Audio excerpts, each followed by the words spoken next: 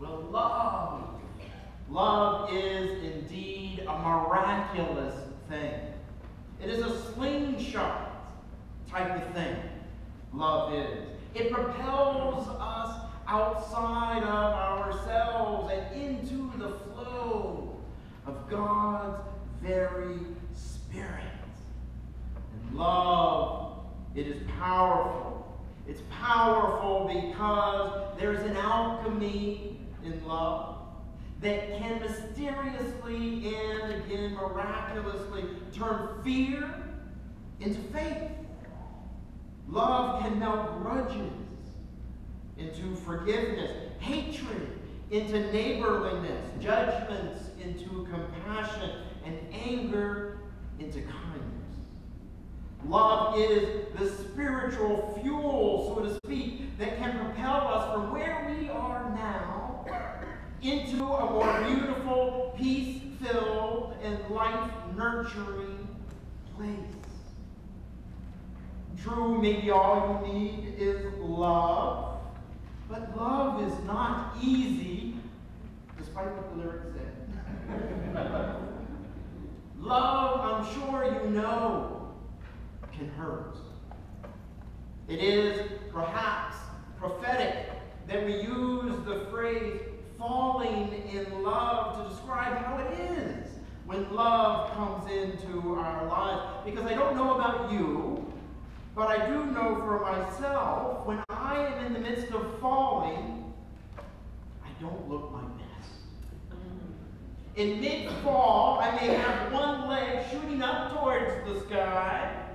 I may have one hand groping desperately behind me for a soft landing spot. The coffee that I invariably have in my other hand is shooting up into the sky, testing indeed the tenets of gravity and my eyes bulge with anxiety, with the fear that my tight lips cannot express.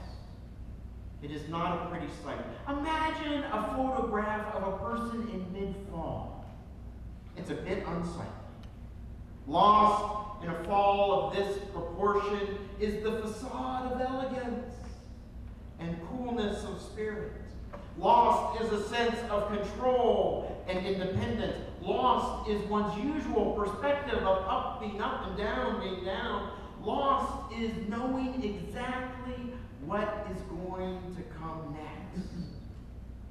That is why the phrase falling in love seems so appropriate because love changes our perspective. It turns us upside down. It signals that we are no longer in control.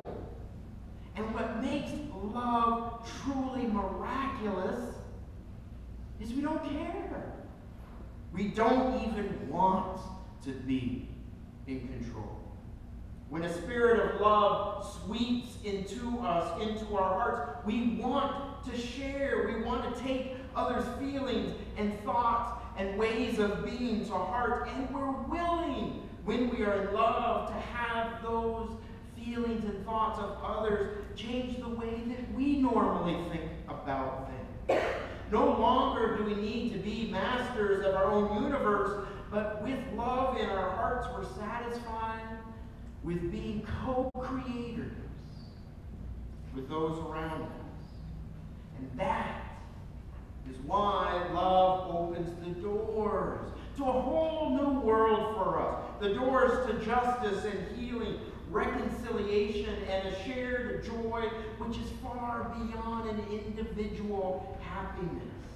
Because love takes us out of ourselves, places us in another shoes, and leads us to do things we would never, ever do in normal circumstances. And therein lays the power and the magic of love. But sometimes we are not open to the miracle of love. Sometimes we are not willing to follow or be inspired by, to trust the movement of love's spirit because we all know that sometimes when we fall, even in love, it hurts. It hurts. Sometimes when we fall for love, we get bruised. Sometimes when we offer to share or when we make ourselves vulnerable to another or make sacrifices for others, all motivated out of a spirit of love. That offer, that vulnerability is thrown back in our face. And it hurts. Sometimes falling into the spirit of love, it breaks our heart. Sometimes it breaks our financial world or our ability to trust again. When this happens, what we often start to do is keep track. We start to keep track of the hurts that love has caused us. And when that happens, we start to keep score on how many times love has let us down. And in our pain, we swear to ourselves never to let ourselves be so vulnerable again to the sting of love. That happens in relationships, in partnerships, marriages. It happens among friends. It happens between groups within a larger community. It happens even between nations. It also happens in our relationship with God.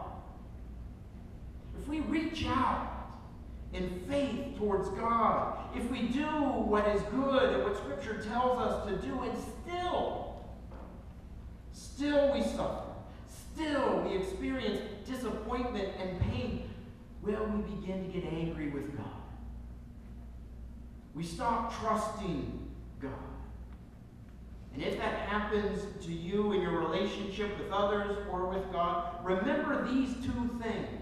First, you are part of this community, a community of faith and love. You do not journey ever into love alone, but you do so with our love and encouragement and support. Therefore, if you venture into love, falls short, and it looks like you're headed for a hard landing, we will catch you.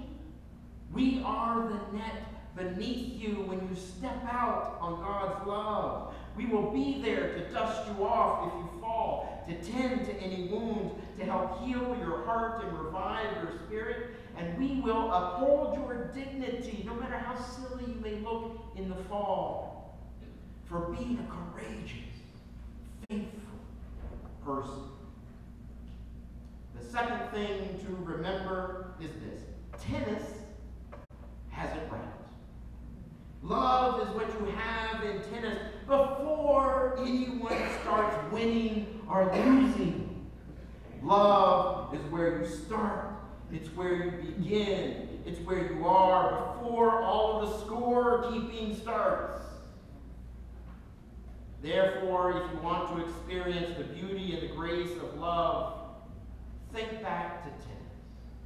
You can't keep score not in the game of love. You can't keep score of the hurts, not even the wins, and certainly not the losses.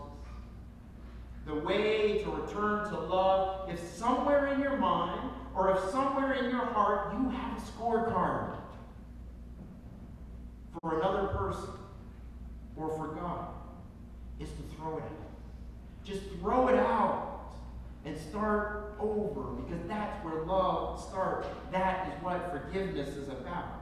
In Fellowship Hall, after the worship today, there are countless ways, countless ways to step out and into the Spirit of God. There are countless ways to love yourself by loving your neighbor. If you're a scientist among us, love is an exo exothermic reaction.